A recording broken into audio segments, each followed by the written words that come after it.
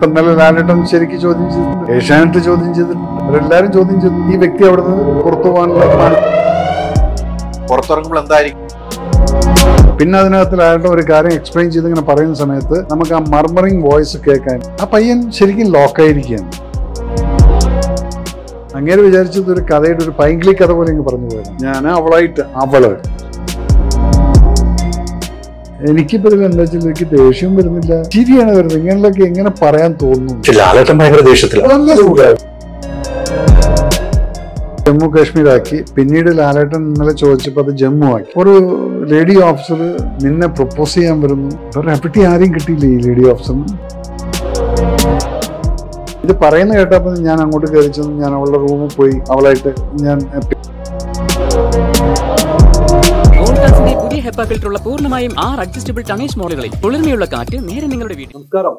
Big ബോസിലെ ഒരു വിഷയമാണ് ഇന്ന് നമ്മൾ ചർച്ചയ്ക്ക് എടുത്തിരിക്കുന്നത്. കാരണം ബിഗ് ബോസ് സീസണിൽ അനിയൻ മിഥുൻ പറഞ്ഞ ഒരു വിവാദ പരാമർശം അത് കേരളം ഒട്ടാകെ ചർച്ചയ്ക്കെടുത്തിരിക്കുകയാണ് അതുമായി ബന്ധപ്പെട്ട് നമ്മുടെ എല്ലാം പ്രിയപ്പെട്ട മേജർ രവിയാണ് എന്നോടൊപ്പം ഉള്ളത്. നമസ്കാരം സാർ.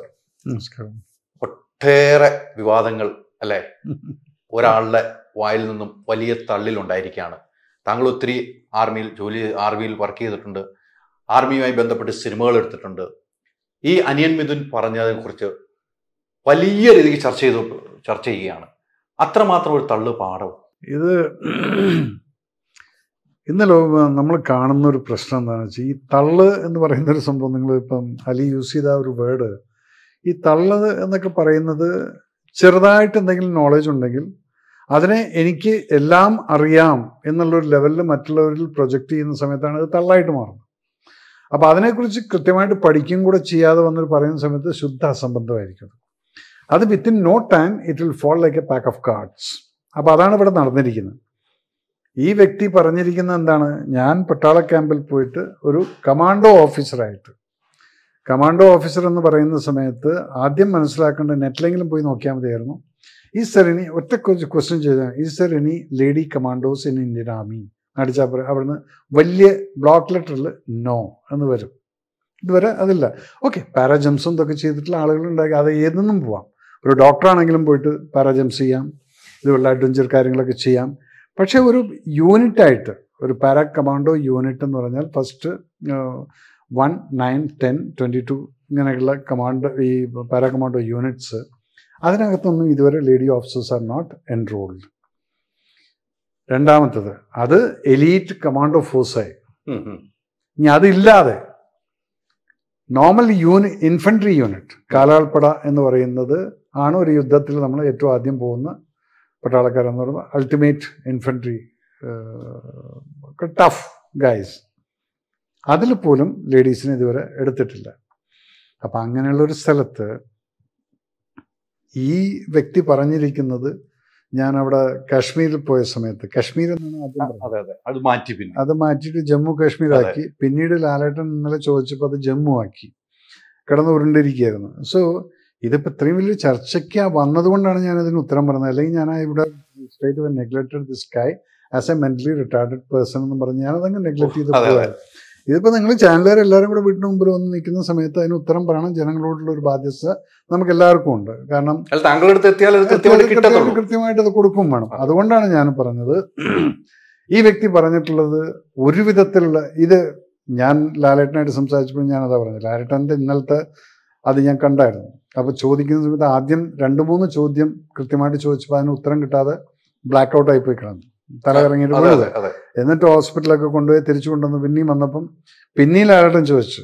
ഉറപ്പുണ്ടോ? ഉറപ്പുണ്ടോ? എന്ന് അതിൽ തന്നെ നിൽക്കുകയാണ്. പിന്നെ അതിനകത്ത് ലാലേട്ടൻ ഒരു കാര്യം എക്സ്പ്ലെയിൻ ചെയ്ത് ഇങ്ങനെ പറയുന്ന സമയത്ത് നമുക്ക് ആ മർമറിങ് വോയിസ് കേൾക്കാം ഇവന്റെ മനസ്സിൽ ഇതിപ്പോ പൊടിയുള്ള ഇങ്ങനെ പറഞ്ഞിട്ടുള്ളതും കൂടെ നമ്മൾ കേൾക്കുന്നുണ്ട്. അപ്പൊ ദാറ്റ് മീൻസ് ആ പയ്യൻ ശരിക്കും ലോക്കായിരിക്കുകയാണ് ലോക്കെന്ന് പറഞ്ഞാൽ അവൻ വിചാരിച്ചില്ല ഇങ്ങനെയുള്ള ഒരു കാര്യം ഇത്രയും വലിയ സീരിയസ് ഇഷ്യൂ ആവുന്നു പണ്ട് അതിന് ആ കാര്യത്തിൽ ഞാൻ ശരിക്കും പറഞ്ഞ് ഞാൻ അഭിമാനിക്കുന്നുണ്ട്.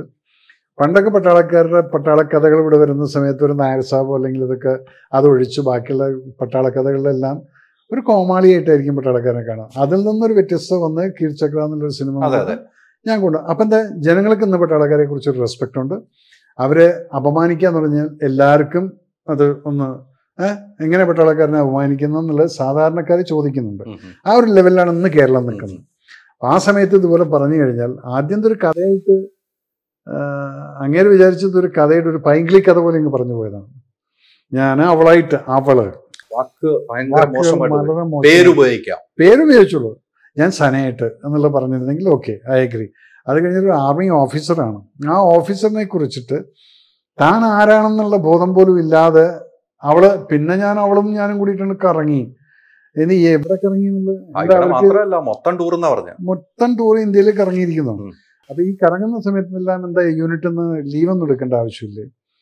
ഓപ്പറേഷണൽ ഏരിയ ആയിട്ടുള്ള ജമ്മു കാശ്മീരിൽ കാശ്മീരിനകത്ത് കാശ്മീരിൽ ശ്രീനഗറും അതിന്റെ അറൗണ്ടിലുള്ള ഫുൾ കോർ ഏരിയയിൽ ലീവ് എടുക്കണമെങ്കിൽ പത്ത് പ്രാവശ്യം റിക്വസ്റ്റ് ചെയ്താലാണ് കിട്ടുള്ളൂ. അല്ലെങ്കിൽ എമർജൻസിക്ക് മാത്രമേ ലീവ് കൊടുക്കുള്ളൂ.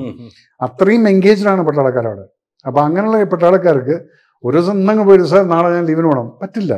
ഓൾറെഡി പ്ലാൻ ചെയ്യണം. അതിനനുസരിച്ച് വേക്കൻസി ഫില്ല് ചെയ്തിട്ട് അവിടെ റിലീവറെ കൊണ്ടുവന്ന് ആക്കിയതിന് ശേഷമാണ് ഈ ലീവിനൊക്കെ പോകാൻ പറ്റുള്ളൂ. അങ്ങനെയുള്ള സ്ഥലത്ത് ഇതുപോലൊരു കമാൻഡോ ഓഫീസറിനെ കൊണ്ടുപോയിട്ട് നിങ്ങൾ കറങ്ങി ലോകം മുഴുവൻ കറങ്ങി. അതും അവളുടെ കൂടെ. സനയുടെ കൂടെ ഇല്ല അപ്പം അവിടെ തന്നെ ഞാൻ ഈ വ്യക്തിനെ നമ്മൾ അളക്കേണ്ടത് അളന്നിരിക്കണം. ഒരു ഇമ്മച്ചുവർഡായിട്ടുള്ളൊരു ചെറുപ്പക്കാരന്റെ ചാബല്യം എന്ന് പറഞ്ഞിട്ട് ഞാൻ അങ്ങ് തട്ടാം. പക്ഷെ ജനങ്ങൾ ഇത്രയും വിളിയൊക്കെ വന്ന് ആർമി ഹെഡ് ക്വാർട്ടേഴ്സിൽ നിന്നും എനിക്ക് എ ഡി ജി പി എന്ന് കോൾ വന്നിട്ടുണ്ട്. ഇപ്പം ഞാനൊരു സിനിമ ചെയ്യാൻ പോകുന്നത് അപ്പം അതിന്റെതായിട്ട് ഞാൻ പലപ്പോഴും ഡെയിലി ഇൻട്രാക്ഷൻ ഉണ്ട്. കാശ്മീരിൽ ഷൂട്ട് ചെയ്യുന്നുണ്ട്. അപ്പോഴാണ് പറഞ്ഞത് സാർ ഇങ്ങനെ ഒരു സംഭവം വന്നിട്ടുണ്ട്. എന്താണ് ഞാൻ പറഞ്ഞു, ഞാൻ അന്വേഷിച്ചു പോകാൻ അത് വലിയ സീരിയസ് ആയിട്ടൊന്നുമില്ല. നമ്മളെക്കുറിച്ച് പറഞ്ഞിട്ട് പട്ടാളത്തിനെ കുറിച്ചെന്ന് പറഞ്ഞാൽ പട്ടാളത്തിന്റെ ഒരു ഓഫീസറായിട്ട് ഇവൻ അഫയർ ഉണ്ടായി എന്നൊക്കെയാണ് പറയുന്നത്. അത് കഴിഞ്ഞിട്ട് പിന്നുള്ള വിരോധാഭാസങ്ങൾ പലതുമുണ്ട് നിങ്ങൾ കാശ്മീരിലൊന്ന് പോകും ശ്രീനഗറിൽ പോയി കഴിഞ്ഞാൽ അത് കഴിഞ്ഞ് ലാലട്ടൻ നാല് ചോദ്യം ചോദിച്ചപ്പോൾ അത് കാശ്മീർ മാറ്റിയിട്ട് ജമ്മു ആക്കി. ജമ്മു ആക്കി. ശരി ജമ്മു ആണെങ്കിൽ പിന്നെ അവിടെയുള്ള ഇൻസർജൻസി ഇതൊന്നുമില്ല അവിടെ എല്ലാം പീസ് ഏരിയയാണ് അപ്പം ഇങ്ങനെയുള്ള ഏരിയയിൽ നിങ്ങൾ കാശ്മീരിൽ പോയി കഴിഞ്ഞാൽ ഒരു ഗേറ്റിനകത്തോട്ട് ഒരു വ്യക്തിക്ക് പുറത്തുനിന്നുള്ള ഒരു സിവിലിയന് കയറി പോകണമെങ്കിൽ ചുരുങ്ങിയത് ഒരു ഒരു മണിക്കൂറോളെങ്കിലും സെക്യൂരിറ്റി ചെക്കുമായിട്ട് അതിന്റെ പേപ്പർ വർക്കും കാര്യങ്ങളൊക്കെ കഴിഞ്ഞിട്ടാണ് കയറാൻ പറ്റുള്ളൂ. ഇത് പറയുന്ന കേട്ടപ്പോൾ ഞാൻ അങ്ങോട്ട് കയറി ചെന്ന് ഞാൻ അവളുടെ റൂമിൽ പോയി അവളായിട്ട് ഞാൻ പിന്നെ ഞങ്ങൾ ആ ഒരു ചുളിവൊക്കെ കണ്ടപ്പോൾ വിചാരിച്ചു എന്തൊക്കെയോ വലിയ സംഭവങ്ങളൊക്കെ നടത്തിയിട്ട് ഒരു ഓഫീസർ ഇതിനു വേണ്ടി കാത്തിരിക്കുകയാണ്. ആ ലെവലിലേക്കാണ് പോയിരിക്കുന്നത്. ആദ്യം ഇങ്ങനെ കഥയൊക്കെ പറയുന്നതിന് മുന്നേ നമ്മുടെ സ്വന്തം പേഴ്സണാലിറ്റിയെ കുറിച്ചൊരു അവലോകനം നടത്തണം. അതൊന്നും നടത്തിയിട്ടില്ല. അപ്പം ഞാനതിന്റെ കൺക്ലൂഷനിൽ വന്നിരിക്കുന്നത് വെച്ചാൽ ഇതൊരു മെന്റലി റിട്ടാർഡഡ് ആൾ താൻ എന്താണെന്നുള്ളത് തന്നെത്താൻ ഒരു ഇമാജിനേഷൻ ഉണ്ടാക്കിയിട്ട് ഇത് പറഞ്ഞ് പറഞ്ഞ് പറഞ്ഞ് പറഞ്ഞ് മനസ്സിനകത്തോട്ട് നിന്ന് കയറിയിട്ട് ഇത് ഇമാജിനേറ്ററി സ്റ്റോറിയാണെന്നുള്ള ഇളം മറന്നു. ഇത് ഒറിജിനൽ സ്റ്റോറിയായിട്ട് മാറുക ഇത് മനുഷ്യന്റെ ഒരു അവസ്ഥയാണത്. സൈക്കോളജിക്കൽ ഡിസോർഡർ ആയിട്ട് വരുന്നതാണത്. കാരണം എന്ന് വെച്ചാൽ നമുക്കവിടെ അത് ചെയ്യാൻ പറ്റിയില്ല. അപ്പം നമ്മളൊരു കഥയുണ്ടാക്കി. ആ കഥയിൽ നമ്മൾ ഡെയിലി റിപ്പീറ്റ് ചെയ്യുന്ന സമയത്ത് പിന്നീട് നമ്മൾ ഇത് റിപ്പീറ്റ് ഇത് ഞാൻ ഇമാജിൻ ചെയ്തതാണെന്നുള്ളത് മറക്കും. ഇത് ഒറിജിനലായിട്ട് പിന്നെ ആൾക്കാരോട് പറയാൻ തുടങ്ങും. ഞാൻ ഇങ്ങനെ ചെയ്തു അങ്ങനെ ചെയ്തു. അപ്പോൾ ആദ്യത്തെ ആൾക്കാർ ഓ അത് ശരി. ആ ആ ലുക്ക് കാണുമ്പോൾ ആ ആൾക്കാർ വിശ്വസിക്കുന്നുണ്ട്. അങ്ങനെ അവനും അതങ്ങ് വിശ്വസിക്കുകയാണ്. ഇതാണ് ഇവിടെ നടന്നിരിക്കുക. അതാണ് ലാലേട്ടൻ ചോദിച്ച് നിനക്ക് പറയാൻ സമയമുണ്ട്. തെറ്റാണെങ്കിൽ പറഞ്ഞു? അവൻ പറയുന്നില്ല. സമയം കൊടുത്തു. കൊടുത്തു. പറയുന്നില്ല. കാരണം ഇത് മനസ്സ് കയറ്റിയിട്ട് ഇനി ഇതൊന്ന് ബ്രേക്ക് ചെയ്യണമെങ്കിൽ ഒഫീഷ്യലായിട്ടുള്ള ഇൻട്രഗേഷൻ വേണം. ഒഫീഷ്യലായിട്ടെന്ന് പറഞ്ഞാൽ പട്ടാളം അത് ഹോം മിനിസ്റ്ററെ അറിയിച്ചു. അതിനുശേഷം എൻ ഐ എ അവനെ വിളിച്ച് മോനെ വാ നീ ഏതിലേക്ക് അതിലേക്ക് പോകാൻ സാധ്യത? സാധ്യത വേണമെങ്കിൽ നമ്മൾ ഇവിടുന്ന് ഒരു ഇനിഷ്യേറ്റീവ് എടുത്തു കഴിഞ്ഞാൽ ഇത് ചെയ്യാവുന്നേ ഉള്ളൂ അത്. പക്ഷെ ഞാൻ ആലോചിക്കുന്നതല്ല. നിങ്ങളൊക്കെ ഈ പറയുന്ന പോലെ നിങ്ങൾക്കൊക്കെ ഫെൽറ്റ് ബാഡ് ഇങ്ങനൊരു സംഭവം നടന്നപ്പോൾ ഒരു വ്യക്തി ഇതുപോലെയൊക്കെ പറയുന്ന സമയത്ത് അപ്പം ഞാൻ എന്റെ മെച്യൂരിറ്റി വെച്ചിട്ട് ഞാൻ ഇവരുടെ അടുത്ത് പറഞ്ഞു നിങ്ങൾ ഇന്ന് രാത്രി എന്റെ അടുത്ത് സംസാരിക്കും. അതിന് മുന്നേ ഞാൻ കുറേ ആൾക്കാരായിട്ട് സംസാരിച്ചിട്ടും ഓഫീഷ്യലായിട്ടൊക്കെ സംസാരിച്ചിട്ട് ഞാൻ പറഞ്ഞു ഒരു ഒമ്പത് മണിക്ക് ശേഷം വിളിക്കുക അപ്പം നമുക്ക് ഇതിനെക്കുറിച്ച് ചർച്ച ചെയ്യാം. എന്താണിത് ചെയ്യേണ്ടതെന്നുള്ളത് അപ്പം കേട്ടിടത്തോളം ഈ വ്യക്തി ഫുഷു എന്നുള്ള മാർഷൽ ആർട്സിന്റെ കേരളത്തിന്റെ ബോസ് എന്ന് പറയുന്നതും ഇന്റർനാഷണൽ ജൂറി ക്യാപ്റ്റനൊക്കെ ആയിട്ടുള്ള ഒരു വ്യക്തിയുണ്ട് ഡോക്ടർ ആരിഫ്.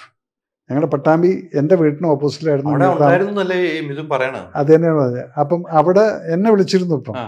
ആരിഫ് എന്റെ അടുത്ത് പറഞ്ഞു അപ്പം ഞങ്ങളുടെ വീട്ടിന്റെ മുമ്പിലായിരുന്നു താമസിച്ചത്. എനിക്ക് നല്ലപോലെ പരിചയമുണ്ട്. എനിക്കറിയില്ല അവിടെ ഞങ്ങൾ വിളിച്ചിരുന്നത് ഗുരുക്കൾ എന്നായിരുന്നു അപ്പം ഇവിടെ ഇപ്പോൾ ഈ ആരിഫ് എന്ന് പറഞ്ഞ് മെസ്സേജ് അയച്ചപ്പോൾ ഞാൻ മെസ്സേജ് എന്റെ അടുത്ത് ചോദിച്ചു സാറിന് എന്നെ ഓർമ്മയില്ലേ? ഞാൻ സാറിന്റെ വീട്ടിന് മുമ്പിൽ അപ്പുറത്ത് തങ്ങന്മാരുടെ അവിടെ ഇരുന്ന് താമസിച്ചിരുന്നു. അപ്പോഴാണ് വിചാരിച്ചു ഓക്കെ. അപ്പം I know the he's not going to tell a lie അപ്പം എന്റെ അടുത്ത് സാറേ ഇങ്ങനെ ഒരാൾ ഞങ്ങളുടെ ഫുഷൂറിൽ ഇല്ല. ഇല്ല. രണ്ടാമത്തത് ഇങ്ങേര് പറയുന്ന ജമ്മുവിലായിരുന്നു ഇങ്ങേരുടെ ഇൻസ്ട്രക്ടർ ആ വ്യക്തി എന്റെ സ്റ്റുഡന്റാണ് ആരിഫിന്റെ സ്റ്റുഡന്റാണ്. ഈ വ്യക്തിയുടെ ഇൻസ്ട്രക്ടർ എന്ന് പറയുന്ന എന്തോ ഒരു ഭരദ്വാജൻ എന്തോ ആണ് അപ്പൊ അദ്ദേഹത്തെ വിളിച്ചു ചോദിച്ചപ്പോൾ അദ്ദേഹം പറഞ്ഞു ആരിഫ് സർ മേ മേരപ്പ സൈസ കോയി ആദ്മി നീഥ അപ്പം അവിടെ നിന്നും കിട്ടി. ഇതാണ് ആരിഫ് എന്നെ വിളിച്ച് പറഞ്ഞ കാര്യം. അപ്പൊ ഇവിടെ തന്നെ ഉണ്ട് എന്തൊക്കെയോ പ്രശ്നങ്ങളുണ്ട്. ഓക്കെ പേഴ്സണലായിട്ട് നമുക്ക് പഠിക്കാം. പേഴ്സണലായിട്ട് നമുക്ക് കോമ്പറ്റീഷൻ അറ്റൻഡ് ചെയ്യാം. ഇങ്ങനെയുള്ള കാര്യങ്ങൾ നമ്മൾ ഒരു ക്ലബിന്റെ ത്രൂ ഒന്നും ഇല്ലാതെ തന്നെ പേഴ്സണലായിട്ടും അപ്ലൈ അങ്ങനെ ചെയ്യാം. അങ്ങനെ ചെയ്യാം. അപ്പൊ അത് വല്ലതും പോയി കാണുമായിരിക്കും എവിടെയെങ്കിലുമൊക്കെ. പക്ഷെ അതിന്റെ പേരിൽ നിങ്ങളാണ് വേൾഡ് ചാമ്പ്യൻ എന്ന് പറയുന്നത് wrong because it will come in the net ആ സമയത്ത് വേൾഡ് ചാമ്പ്യൻ ഇദ്ദേഹം അല്ല അല്ല അത് നെറ്റിൽ നിങ്ങൾ നോക്കിയാൽ ഈ പേരില്ല. ഇതിനല്ല പേരില്ല. അപ്പൊ ഇതൊക്കെ വരുന്ന സമയത്ത് അവിടെ തന്നെ ഒരു നുണയാണ്. അപ്പൊ അത് കഴിഞ്ഞിട്ട് ഈ പട്ടാളത്തിനെ വെച്ചിട്ടുള്ള കളിച്ചതിലാണ് എല്ലാവർക്കും കുറച്ച് പിന്നെ ലാലേട്ടൻ ചോദിച്ച ചോദ്യത്തിന് ഒന്നിനും ഉത്തരവില്ല. ഒന്നിനും പറഞ്ഞിട്ടില്ല. കാരണം ഗണ്ണ് വന്നിട്ട് റൂമിൽ കൊണ്ടുപോവാ. അത് സ്വാഭാവികമല്ല ഞങ്ങൾ ഞാനൊക്കെ കമാൻഡോസിലിരുന്ന ആ വ്യക്തിയാണ്. ഓപ്പറേഷനിൽ ഞങ്ങൾക്ക് ഞങ്ങളുടെ ഇപ്പോൾ ഞാൻ അലർട്ട് ടീം എന്ന് പറഞ്ഞിട്ടൊരു ടീം ഉണ്ടായിരിക്കും ഈ എൻ എസ് ജി കമാൻഡോയിൽ അലർട്ട് ടീം എന്ന് പറഞ്ഞാൽ ഒരു മാസം ഞങ്ങൾക്ക് വീട്ടിൽ പോകാൻ പറ്റില്ല. ഞങ്ങൾ ആ ക്യാമ്പിൽ തന്നെ ആയിരിക്കും താമസിക്കുന്നത്. ഞങ്ങളുടെ ബസ്സിന്റെ മുകളിൽ ഫുൾ ഫിഫ്റ്റി ടു സീറ്റർ ബസ്സിന്റെ മുകളിൽ ലോഡ് ചെയ്ത് എല്ലാവരുടെയും പാക്ക് ഓരോരുത്തരുടെയും ക്യാപ്റ്റൻ രവി ഇന്ന നമ്പർ എന്നുള്ള ഒരു പാക്ക് ഉണ്ടായിരിക്കും. ആ പാക്കിനകത്ത് ഞങ്ങളുടെ വെപ്പൺ ഉണ്ടായിരിക്കും അതിന്റെ ആംസ് ഉണ്ടായിരിക്കും ആംനേഷൻ ഉണ്ടായിരിക്കും ഒരു ജോഡി ഡ്രസ്സ് ഉണ്ടായിരിക്കും ഷൂസ് ഉണ്ടായിരിക്കും ബുള്ളറ്റ് പ്രൂഫ് ഉണ്ടായിരിക്കും ഇതെല്ലാം ഉള്ള ഒരു പാക്ക് ഇതെല്ലാം അമ്പത്തിരണ്ട് പേരുടെയും കെട്ടിയിട്ട് അതിനകത്ത് വെച്ച് ടാർപ്പാളം വെച്ച് കെട്ടി വെച്ചിട്ടുണ്ടായിരിക്കും. ആ ബസ് റെഡി ടു മൂവ് ആണ്. ചാവിയും ബസ്സിനകത്ത് തന്നെ ആയിരിക്കും. അലേർട്ട് എന്നും പറഞ്ഞുള്ള കോൾ വന്നു കഴിഞ്ഞാൽ within twenty minutes we should be out of the gate എയർപോർട്ടിലേക്ക് പോകാൻ വേണ്ടിയിട്ട്. അങ്ങനെയാണ്. അപ്പൊ അതുപോലും ഞങ്ങളുടെ റൂമിൽ വെക്കില്ല. ഈ വണ്ടിയിലാണ് വെച്ചിട്ടുണ്ടായിരിക്കുക. അത് കോട്ടറാടിന്റെ മുമ്പിൽ ഗാർഡിന്റെ മുമ്പിലായിരിക്കും. പിന്നെ എൻ എച്ച് സിക്ക് അകത്തൊന്നും കയറിയിട്ട് ആർക്കും ഒന്നും ചെയ്യാൻ പറ്റില്ല. അതുകൊണ്ട് അത്രയും പ്രൊട്ടക്റ്റഡ് ആയിട്ടുള്ള സ്ഥലത്ത് ഇത് വെച്ചിരിക്കും. ഞങ്ങൾ വീട്ടിൽ കൊണ്ടുപോയില്ല പിന്നെ വീട്ടിൽ പിന്നെ ഈവൻ ലാലേട്ടൻ പറഞ്ഞിട്ടുള്ള ആ സംഭവം കോട്ടർഗാർഡിനകത്താണ് കോട്ടർഗാർഡിലെ കോത്ത് എന്ന് പറയുന്ന സ്ഥലത്താണ് ഈ വെപ്പൻസ് സൂക്ഷിച്ചിരിക്കുക. അത് ഓരോരുത്തരുടെ പേരിലും ഓരോരുത്തരുടെ നമ്പർ ഉണ്ടായിരുന്നു പിന്നെ ക്യാപ്റ്റൻ രവിയുടെ gun sixty nine M B five എന്നുള്ളത് അവിടെ വെച്ച് നമുക്ക് ആ സിക്സ്റ്റി നയൻ എടുത്തിട്ട് അങ്ങ് പോവാം. കാരണം അത് സീറോയും ചെയ്ത് വെച്ചിരിക്കുന്ന വെപ്പനായിരിക്കും അപ്പൊ ഇതിനൊക്കെ കുറേ സിസ്റ്റം ഉണ്ട്. ഇതൊന്നും ഈ വ്യക്തിയോട് ഞാൻ പത്ത് ചോദ്യം ചോദിച്ചു കഴിഞ്ഞാൽ ഇതിൽ രണ്ട് ചോദ്യം പോലും ഈ വ്യക്തിക്ക് ഉത്തരം പറയാൻ പറ്റില്ല. അത് ലാലേട്ടൻ ചോദിച്ചിട്ട് പോലും he's not able to answer it അപ്പം ലാലേട്ടൻ ഞാൻ അതാണ് പറഞ്ഞത്. ഈസ് മെന്റലി സം ഡിസോർഡർ ഉണ്ട്. ഇത് രജിസ്റ്റർ ചെയ്തിരിക്കുന്നു. പണ്ടങ്ങാണ്ടോ പറഞ്ഞൊരു കഥ രജിസ്റ്റർ ചെയ്തിട്ട് അത് അത് ആക്ച്വലി നടന്നതാണെന്നുള്ളത് താൻ തന്നെ ഇങ്ങ് വിശ്വസിച്ചിട്ട് ഈ പറഞ്ഞുകൊണ്ടിരിക്കും അത്തരം ഒരു ഇപ്പൊ നമ്മൾ പറഞ്ഞ സന എന്ന് പറയുന്ന ആ പെൺകുട്ടി ആ മേഡം അവിടെ ആ സമയത്ത് ഉണ്ടായിരുന്നു എന്ന് രവി സാർ അന്വേഷിച്ചിരുന്നു? ഞാൻ ചോദിക്കട്ടെ? അലി ഇപ്പൊ ഒരു ജേർണലിസ്റ്റാണ് you check in to your complete website ഉണ്ട് നിങ്ങളുടെ മാത്രമല്ല നിങ്ങൾ ഗൂഗിളിൽ ഒറ്റ അടി അടിച്ചാൽ മതി. അറിയാൻ പറ്റുന്നുണ്ട്. ഈ a para commando officer called Sana in Indian army അപ്പോൾ വരും നോൺ. ഓക്കെ പിന്നെ നിങ്ങൾ എപ്പോഴെങ്കിലും റിപ്പോർട്ട് ചെയ്തിട്ടുണ്ടോ? ഏതെങ്കിലും ഒരു എൻകൗണ്ടറിൽ ഒരു ലേഡി ഓഫീസർ മരിച്ചു എന്നുള്ളത്? ഇല്ല ഇല്ല.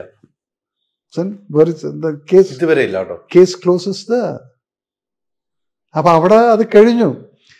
പക്ഷെ ഈ വ്യക്തിക്ക് അറിയില്ല ഇതിന്റെ റിപ്രക്കേഷൻസ് സീരിയസ് ആയിട്ട് ഈ വ്യക്തിക്ക് എഗൻസ്റ്റിൽ കേസ് എടുത്തു കഴിഞ്ഞാൽ ഇതിന് എന്തൊക്കെയാണെന്ന് അറിയാം ഒന്ന് ഇന്ത്യൻ ആർമിയുടെ സെക്യൂരിറ്റിനെ ചോദ്യം ചെയ്യാണ്. നിങ്ങളെപ്പോലൊരു വ്യക്തി എങ്ങനെ ഈ ക്യാമ്പുകളിൽ ഒരു സ്ത്രീ വിളിച്ചിട്ട് അകത്തേക്ക് പോയിട്ടുണ്ട്. ഏതാണ് സ്ത്രീ? എവിടെയാണ് ഈ ക്യാമ്പ്? ഈ സ്ഥലത്തിന്റെ പേര് ചോദിച്ചു കഴിഞ്ഞാൽ ഈ വ്യക്തിക്ക് പറയാൻ പറ്റില്ല. അത് ചോദിച്ചാൽ എനിക്കറിയാം. ഏകദേശം ഒരു എല്ലാം ഏത് വഴി? ഞാൻ അതിന്റെ ഗേറ്റിന്റെ ഈസ്റ്റിലേക്കാണോ വെസ്റ്റിലേക്കാണെന്നുള്ളത് ചോദിച്ചു കഴിഞ്ഞാൽ അത് എന്നെ പോലും അറിയില്ലായിരിക്കും. അപ്പൊ ഇങ്ങനെയുള്ള നാല് കറക്റ്റായിട്ടുള്ള ഇൻട്രോഗേഷൻ നടത്തി കഴിഞ്ഞാൽ ഈ വ്യക്തി പുളിയോടെ. അപ്പം അതൊന്ന് ഇതിനകത്ത് വരുന്ന സീരിയസ് ഇഷ്യൂ എന്ന് പറയുന്നത് ഇന്ത്യൻ ആർമിയുടെ സെക്യൂരിറ്റിനെയാണ് ചോദ്യം ചെയ്തിരിക്കുന്നത്. അത്രയും ഈസിയാണോ ആർക്ക് വേണമെങ്കിലും അകത്തേക്കും കയറി ചെല്ലാമെന്നുള്ളതാണ് ഇത് ചോദ്യം വന്നു കഴിഞ്ഞാൽ നീ എങ്ങനെ പോയി? നിന്നെ ആര് ഹെൽപ്പ് ചെയ്തു? ആ ഹെൽപ്പ് ചെയ്തിട്ടുള്ള വ്യക്തിയുടെ പേരെന്താണ്? സന എന്നാണെങ്കിൽ എവിടെയായിരുന്നു ഈ സന? ഞങ്ങളുടെ ക്യാമ്പിന് അങ്ങനെ ഒരു സനയില്ല. പിന്നെ നീ ഏത് ക്യാമ്പിന്റെ ദാറ്റ് മീൻസ് നീ വല്ല മിലിട്ടൻ ക്യാമ്പിലാണോ പോയത്? ഈ മരിച്ചിരിക്കുന്ന സന എന്ന് പറയുന്നത് മിലിറ്റന്റ് ആയിരിക്കും. അതുകൊണ്ടാണല്ലോ കമാൻഡോ ആണെങ്കിൽ അവൻ വെടിവെച്ചാൽ നെറ്റിക്ക് കൊള്ളും ഈ മിലിറ്റൻസ് വെടിവെച്ച് കഴിഞ്ഞാൽ നെഞ്ചത്തോ വല്ലയിടത്തൊക്കെയാണ് കൊള്ളുന്നത്. അല്ല നെറ്റിയിലൊന്നും കൊള്ളില്ല. അപ്പൊ അത് രണ്ടും തമ്മിലുള്ള വ്യത്യാസമുണ്ട്. നെഞ്ചത്താണ് വെടികൊണ്ടെന്ന് വെടി കൊണ്ടെന്ന് പറയുന്നത്. പറയുന്നു. പക്ഷെ പിന്നെ ഒരു മിലിറ്റന്റ് ആണെങ്കിൽ അവളുടെ നെഞ്ച് മറ്റേ ആ ശരീരത്തിന്റെ മുകളിൽ ഒരിക്കലും നാഷണൽ ദേശീയ പതാക ഉണ്ടാവില്ല. ഉണ്ടാവില്ല. ഓബിയസ്ലി മിലിറ്ററിന്റെ മുകളിൽ ആര് ദേശീയ പതാക കൊടുക്കുന്നത് അത് പട്ടാളക്കാരുടെ പ്രിവിലേജ് അല്ലേ അത്? അപ്പൊ പിന്നെ അത് കഴിഞ്ഞിട്ട് അതിന്റെ മുകളിൽ കെട്ടിപ്പിടിച്ച് കരഞ്ഞു. ഒരു ക്യാമ്പിനകത്ത് പോയി. ക്യാമ്പിനകത്ത് പോയി. അവിടെ സ്വന്തക്കാർ പോലും സ്വന്തക്കാരുടെ അടുത്തേക്ക് ബോഡി അങ്ങോട്ടാണ് കൊണ്ടുപോകുന്നത്. ക്യാമ്പിലേക്ക് അവരെ വരാൻ സമ്മതിക്കുന്നു സമ്മതിക്കില്ല. ഇല്ല. ഇത് ഇവിടുന്നെല്ലാം പാക്ക് ചെയ്ത് പ്രോപ്പർ സല്യൂട്ടും കൊടുത്ത് സെറിമോണിയൽ ആ ഫയറിംഗ് എല്ലാം കഴിഞ്ഞ് ഇരുപത്തൊന്ന് ഗൺ സല്യൂട്ടും കഴിഞ്ഞിട്ട് ഇതങ്ങ് യാത്ര അയച്ചു കഴിഞ്ഞാൽ പിന്നെ അത് കാണാൻ പറ്റുള്ളൂ. പിന്നെ നാട്ടിലെത്തി കഴിഞ്ഞാൽ നിങ്ങൾക്ക് എല്ലാവർക്കും കാണാം. പക്ഷെ അവിടെ ക്യാമ്പിനകത്ത് എന്തൊക്കെയായി പറഞ്ഞു വെച്ചിരിക്കുന്നത്? സോ അതുകൊണ്ട് എന്താണെന്ന് വെച്ചാൽ ഇതിനകത്തൊരു മെന്റലി ഡിസോർഡർനെസ് ഉണ്ട്. ആ പയ്യൻ അറിയില്ല അതിന്റെ സീരിയസ്നെസ് എത്രയാണെന്ന്. ആ സീരിയസ് ഇഷ്യൂലോട്ട് വന്നു കഴിഞ്ഞാൽ എന്താവും എന്നുള്ളത് ഒരുപക്ഷെ ആ പയ്യൻ he will not be able to take it up ചിലപ്പോൾ എടുക്കാൻ പറ്റില്ല അത്. ഞാൻ ചോദിക്കട്ടെ പത്ത് ഞാനിപ്പോൾ ഇതുപോലെ ഒരു നാല് ചോദ്യം ചോദിച്ചിട്ട് അതിന് ഉത്തരം കിട്ടിയില്ലെങ്കിൽ ലാലേട്ടൻ നാല് ചോദ്യം ചോദിച്ചപ്പോൾ തന്നെ ബോധം കെട്ട് അതെ അപ്പം അങ്ങനെയുള്ള ആൾ നിങ്ങളെ കൊണ്ടുപോയിട്ട് റെഡ് ഫോർട്ടിൽ നമ്പർ ടെൻ സെല്ലിൽ ഇട്ടിട്ട് നമ്മളൊരു ഇൻട്രോഗേഷൻ ഉണ്ട്. അവിടേക്ക് നിങ്ങൾ പോയി കഴിഞ്ഞാൽ അറിയാം അതിന്റെ വിവരം എന്താണെന്നുള്ളത് എങ്ങനെയാണെന്നുള്ളത്. എത്രയോ വലിയ വലിയ ഹാർഡ് കോർ ഓഫീസേഴ്സിനെ നമ്പർ ടെൻ സെല്ലിൽ മിസ്അണ്ടർസ്റ്റാൻഡിങ്ങിന്റെ പേരിൽ കൊണ്ടുപോയിട്ട് സെല്ലിൽ കൊണ്ടുപോയിട്ട് ഇൻട്രോഗേറ്റ് ചെയ്തിട്ട് ഒരാളും രണ്ട് ദിവസം മൂന്ന് ദിവസത്തിൽ കൂടുതലൊന്നും നിൽക്കില്ല. ഈ ഓഫീസർ ഒരു മിസ്അണ്ടർസ്റ്റാൻഡിങ്ങിന്റെ മുകളിൽ ഈ ഓഫീസറിനെ ഇരു മുപ്പത് ദിവസത്തോളം ഇയാൾ അവിടെ സർവൈവ് ചെയ്തിട്ടുണ്ട്. ഒരു കമാൻഡോ ആയിരുന്നു. നിരപരാധിയാണ്. പക്ഷെ സാഹചര്യ തെളിവുകൾ അദ്ദേഹത്തിന് അഗൻസ്റ്റ് ആയിട്ടാണ് വന്നത്. പക്ഷെ ആർക്കൊന്നും പ്രൂവ് ചെയ്യാൻ പറ്റിയിട്ടില്ല. പക്ഷെ എങ്കിലും ഈ വ്യക്തി പിന്നെ പുറത്തേക്ക് ഇറങ്ങിയിട്ടുള്ളത് വേറൊരു ലെവലിലായിരുന്നു സോ അത്രയും ടഫായിട്ടുള്ള ആളുകൾക്ക് പോലും നിൽക്കാൻ പറ്റാത്തത് ഈ പയ്യനെ കൊണ്ടുപോയിട്ട് ഇൻട്രോഗേഷൻ കൊണ്ടുപോയി കഴിഞ്ഞാൽ വാട്ട് വിൽ ഹാപ്പൻ അപ്പം അതുകൊണ്ട് I just feel pity for em ഇതുപോലുള്ള കാര്യങ്ങളൊക്കെ പറയുന്നതിന് മുന്നേ ഇനിയും ചെറുപ്പക്കാർ ആലോചിക്കുക. ഈ പട്ടാളവും അവിടുത്തെ ലേഡീസ് അതും ആ ലേഡിക്ക് റെസ്പെക്ട് കൊടുത്തില്ല എന്ന് കണ്ടപ്പോൾ തന്നെ മനസ്സിലായി. ഒരിക്കലും കഥ വേറെയാണല്ലോ ഈ അവളെന്നൊക്കെ പറഞ്ഞപ്പോൾ തന്നെ ഞാൻ മനസ്സിലാക്കി. ഇല്ല ഓരോ ഓഫീസറോ അല്ലെങ്കിൽ ഒരു ഞങ്ങളെ ഓഫീസേഴ്സിന്റെ മോട്ടോ തന്നെയുണ്ട് ലേഡീസ് ഫസ്റ്റ് എന്ന്. അത് നിങ്ങൾ ഒരു ക്യാമ്പിൽ പോയി കഴിഞ്ഞാലും ശരി ഞാനിപ്പം ചീഫിന്റെ എ ഡി സി ആയിരുന്നു.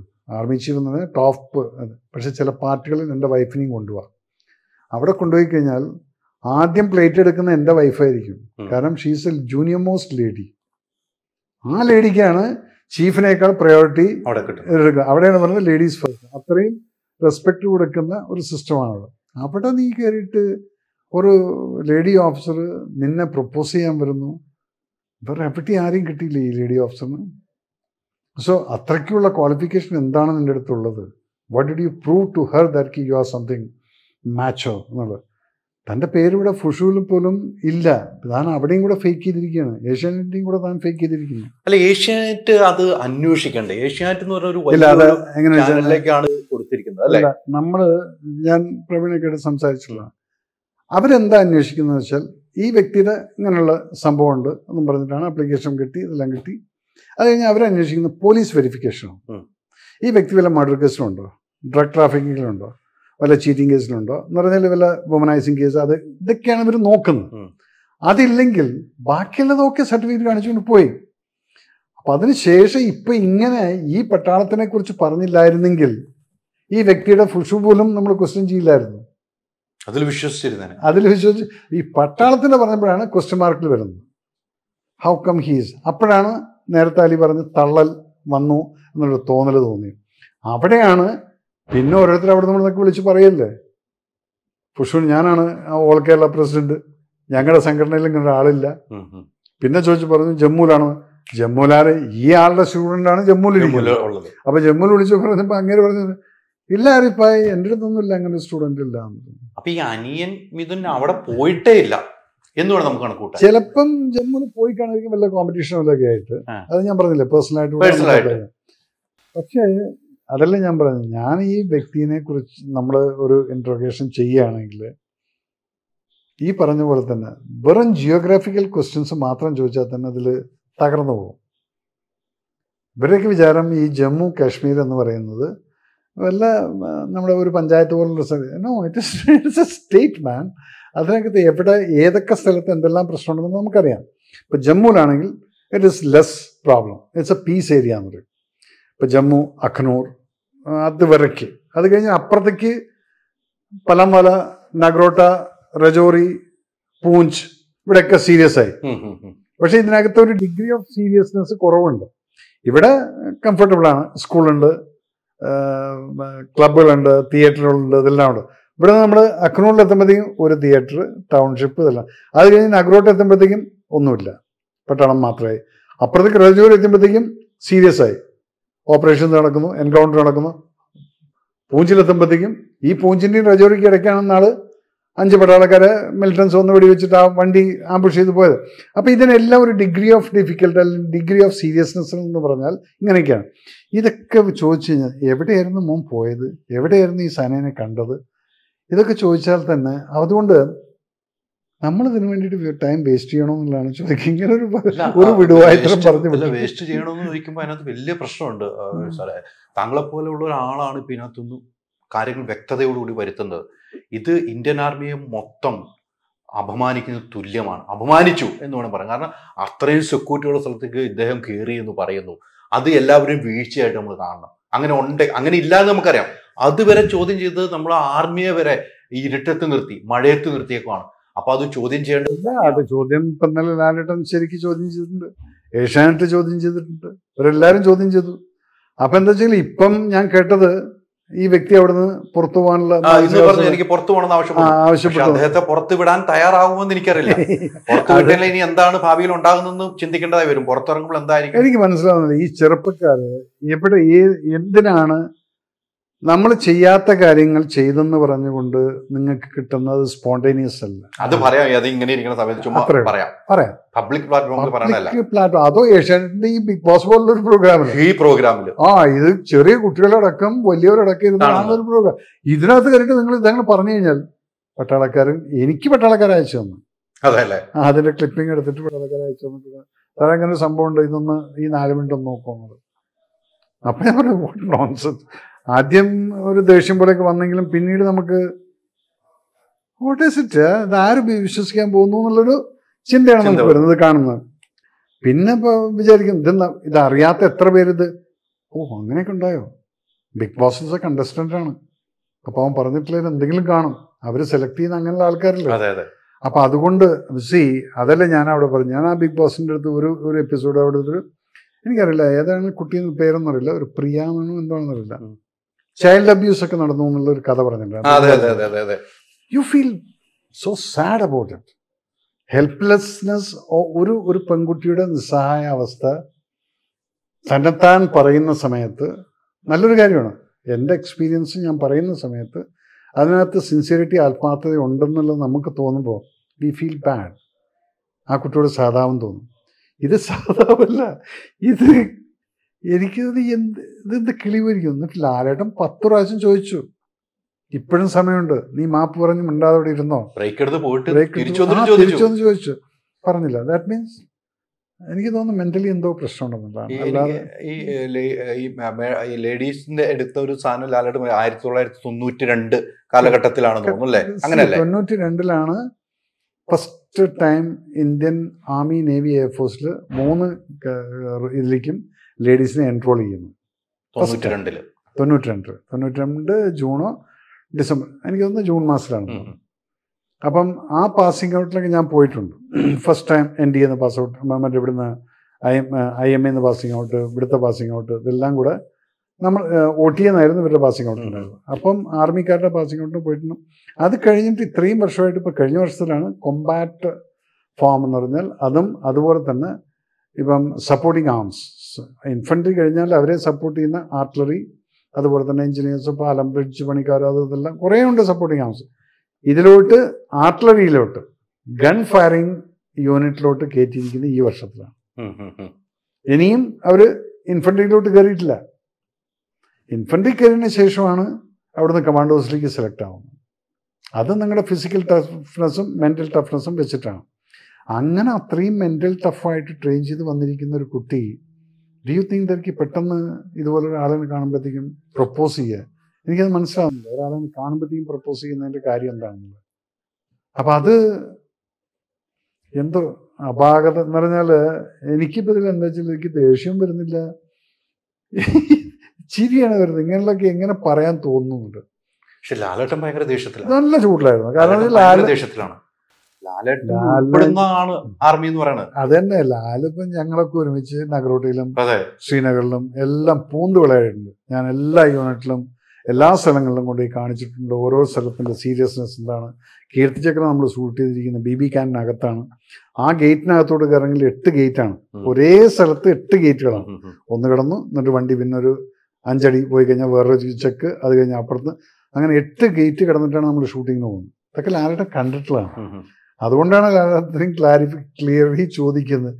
ഈ എവിടുത്തെ കാര്യമാണ് ഈ പറയുന്നത്? ആ ചോദിച്ചു കഴിഞ്ഞാലും അടുത്ത് ഇല്ല ഞാൻ പറയുന്നത് സത്യമാണ്.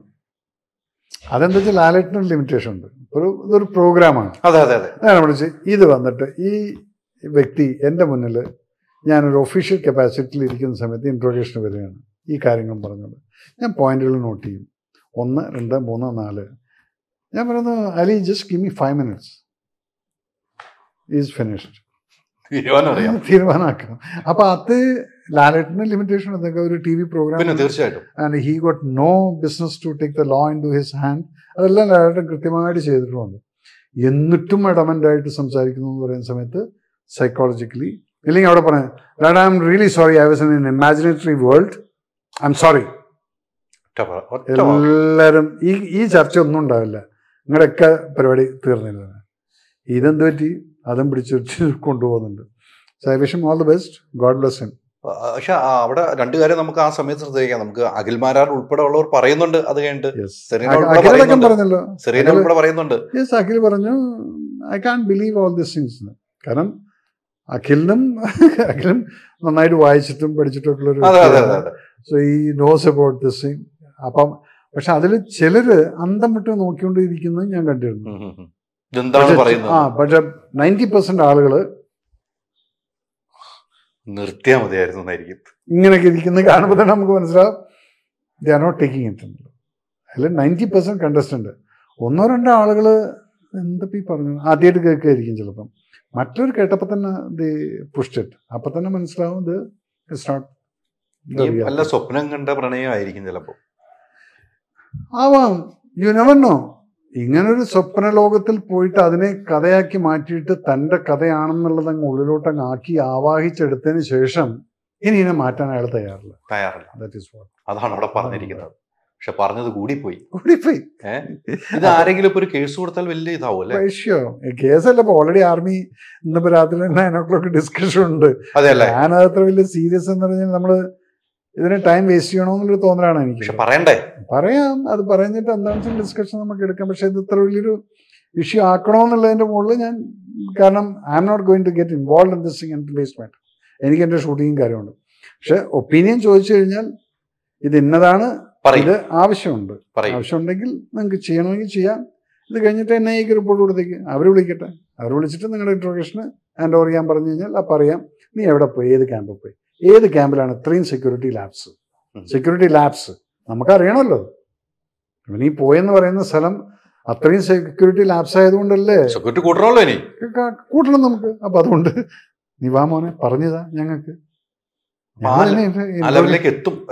എത്തിക്കാൻ വേണമെങ്കിൽ അല്ലെങ്കിൽ ജസ്റ്റ് നെഗ്ലക്ട് എന്തായാലും താങ്കൾ അതിന് പോകുന്നില്ല. പക്ഷെ ആർമി ഇപ്പം സംസാരിച്ചിട്ടുണ്ട്. സംസാരിച്ചിട്ടുണ്ട്. രാത്രി സംസാരിച്ചതിന് ശേഷം നമുക്ക് തീരുമാനിക്കാം. തീരുമാനത്തിലേക്ക് എത്തും. അല്ലെ? അത്രേ നിലയിലേക്ക് എത്തുന്നു ഞാനതൊരു മണ്ടത്തരായിട്ടാണ് കണക്കാക്കുന്നത് ആ പയ്യന് വിവരം അത് ലാക്ക് ഓഫ് നോളേജോ അത് എവിടേക്കോ എന്തൊക്കെയോ പാലിച്ചിട്ടുണ്ട്. അപ്പൊ അവന് അവന്റെ മാർഷൽ ആർട്സുകാർ തന്നെ അവനെ തിരസ്കരിച്ചു. ഞങ്ങളുടെ. ഇങ്ങനെ ആളില്ല.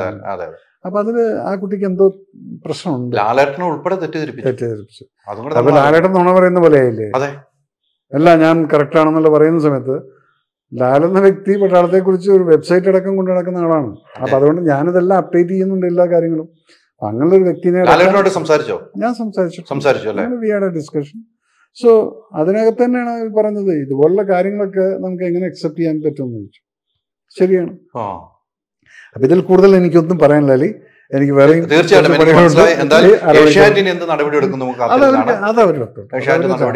കാണാം. എന്തായാലും താങ്കളെ പോലെയുള്ള ആളുകൾ ഈ കാര്യത്തിൽ ഇത്ര കൃത്യമായിട്ട് പ്രതികരിച്ചതിൽ ഒത്തിരി സന്തോഷം കാരണം അല്ലെങ്കിൽ എല്ലാവരും തെറ്റിദ്ധരിച്ചിരിക്കുകയാണ്. പല കാര്യങ്ങളും തെറ്റിദ്ധരിപ്പിച്ചിരിക്കുന്നു. ഇന്ത്യൻ ആർമി നമ്മളെല്ലാം ജീവൻ കാക്കുന്ന ഇന്ത്യൻ ആർമിക്കെതിരെയാണ് ഇദ്ദേഹം ഇത്തരം ഒരു പരാമർശം നടത്തിയത്. അത് സത്യം ഇന്ത്യൻ ആർമിക്ക് എതിരെ എന്ന് പറയണ്ട. ഇന്ത്യൻ ആർമിയെ ഇന്ത്യൻ ആർമിയെ തരം താത്തുന്നു തരം താത്തി തകർത്തുകൊണ്ട് എതിരാണ് തകർത്തുകൊണ്ട്. അത് അറിഞ്ഞോ അറിയാതെയോ എന്തായാലും അത് തെളിയിക്കപ്പെടേണ്ടതാണ് തെളിയിക്കുമെന്ന് നമുക്ക് വിശ്വസിക്കാം. ഒത്തിരി സന്തോഷം. Thank you so much